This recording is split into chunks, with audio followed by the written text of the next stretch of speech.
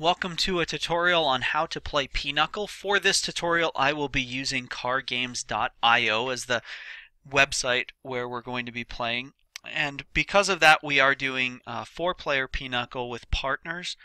With four player Pinochle you have a 48 card deck.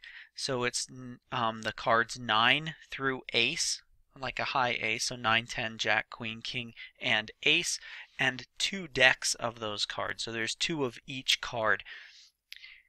There are two basic parts of Pinochle, um, the melding and then the play, the gameplay.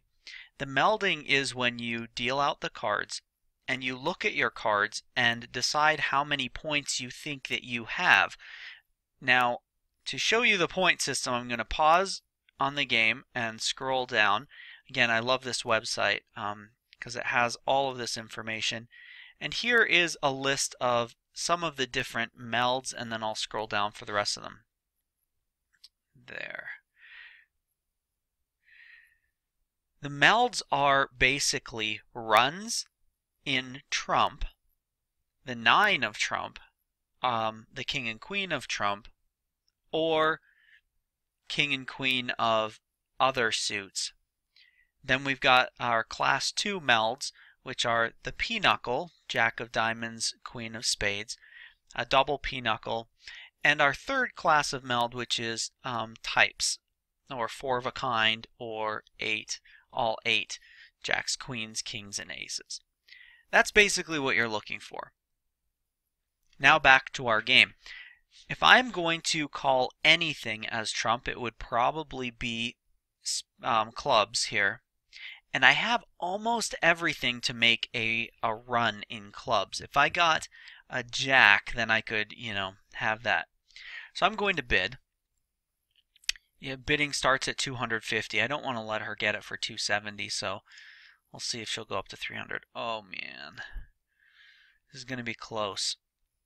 Depends what my partner sends over to me, really.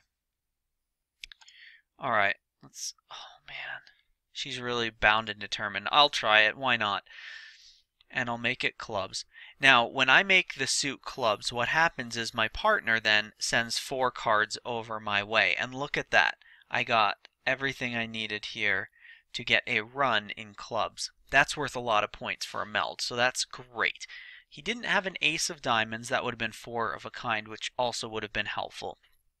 But that's okay. Now what I get to do is send him back four cards. That's why I wanted so badly to take this trick, so I can show you all of the different parts. So he sends me four cards. I decide which cards I'm going to keep, and then I throw back to him um, some other cards. I'll just pass him those ones. Now, when you are playing, um, they the order is ace is high, then 10, then king, queen, jack, nine. So this is actually a good card. That would actually be a winner in hearts. So I'm going to send him the king and see how this goes. We should do fine. The game automatically calculates your score if you are playing with a um, with this computer. But just so that you can see, I would I had two nines in trump, so that would be 10 points each. I also had the run that I showed you in Trump, so that's worth 150 points. Bill had a, a, diamond marriage, so that was nice. That got us an extra 20 points. Our opponents had a whole bunch of marriages and a pinochle, looks like, so they got um, 120 points for their melds. Now we're going to start the second part of it, which is the actual playing. And to do that, I get to lead. Ace of spades, or ace of clubs, I'm sorry, is trump and the highest, so that's a winner. But I also have some other winners here that I'm going to throw out first because I assume people have um, a little bit in every suit at the beginning. And you gain points in this round, 10 points for every ace, king, or 10 that is in the trick. So if I have an ace, um, there's a king, so that trick was worth 20 points.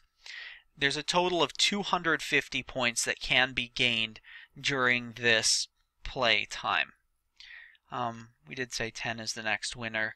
Oh, she trumped it. And that's another rule that's in here.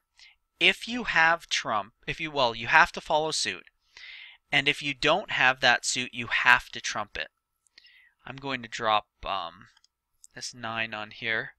Let Lisa take that.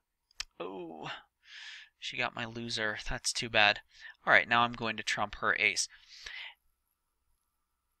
Now I'm going to start by playing an ace. And if you have trump, you have to follow suit.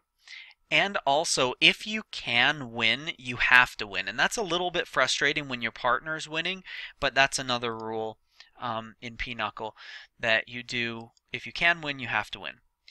And the final trick, which we have here, is worth an additional 10 points. So I got 10 for the ace, 10 for the 10, an additional 10, 30 points just for that last trick, giving us 180 out of the 250 points for the trick. And we basically made our bid, which was good. It was close. That was a high bid. So we made 330 points, got our, our, our bid, got our extra points. Bill and Lisa got 120 from their meld, 70 from the tricks.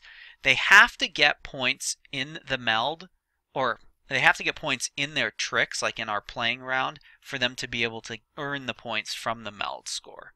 So that's the basics of playing Pinochle in about six, six and a half minutes.